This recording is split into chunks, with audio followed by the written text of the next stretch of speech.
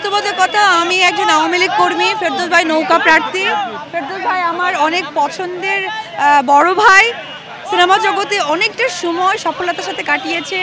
ওনার সবচেয়ে ইম্পর্টেন্ট যেটা হচ্ছে ওনার ব্যক্তিত্ব, ওনার যে প্রেজেন্টেশন দর্শকদের কাছে ওভারঅল মিলে আমার কাছে মনে হয়েছে যে ফেরদৌস ভাই, এমন একটা ঐতিহাসিক জায়গা নিয়ে লড়ছে। সেখানে আসলে আমি একজন আওয়ামী লীগ কর্মী হিসেবে এটা আমার দায়িত্ব হয়ে গেছে। আমি আমার দায়িত্বর জায়গা থেকে এখানে এসেছি।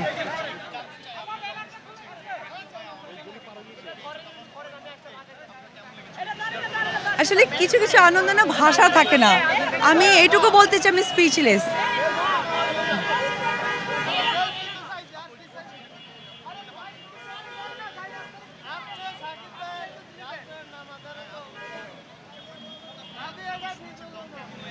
আমি ফার্স্টে ফেরদৌস ভাইকে ফোন করে বললাম ভাইয়া কি সত্যি? বলে আমি তো তাই ভাবছি। তো এইটাই আমাদের ভাই বোনের রিয়াকশন ছিল।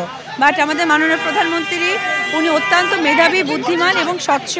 উনি জানেন কাকে কোথায় কীভাবে অবস্থান কর- করানো মানে করানো উচিত সেটাই উনি করছেন। আলহামদুলিল্লাহ আমি এটুকু বলতে চাই যে আমাদের নেত্রী যে বিশ্বাসের সাথে আস্থার সাথে যাকে যেভাবে যে জায়গা দিয়েছেন আমি চাইব আমি একজন কর্মী হিসেবে তার হাতটা শক্ত করার জন্য আমরা প্রত্যেকটা মানুষ যেন তার সেই ইচ্ছা শক্তিকে পূরণ করে, তার যে ডিজিটাল বাংলাদেশ গড়ার যে প্রতিশ্রুতি এবং যে শক্ত হাত করছেন, সকলের হাত। এবার বলি, দশে মিলে করি কাজ, হারি যেতে নাহি লাজ।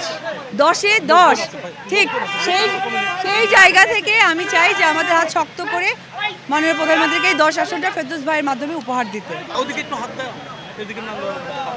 না না না, এইটা এইটা এটা আসলে ভুল কথা। আমরা যখন হচ্ছে গিয়ে স্টেজ পারফর্ম করি, এই দর্শকগুলোই থাকে।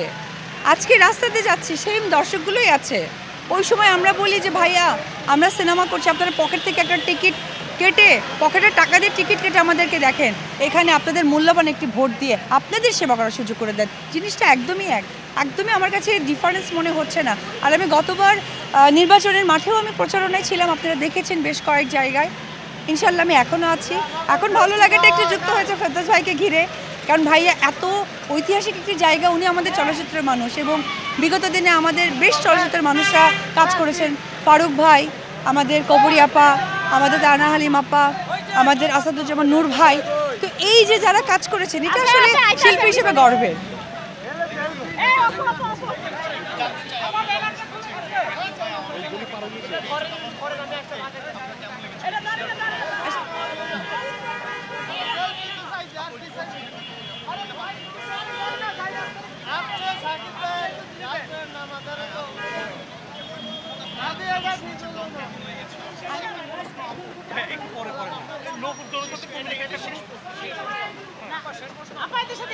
O, așa.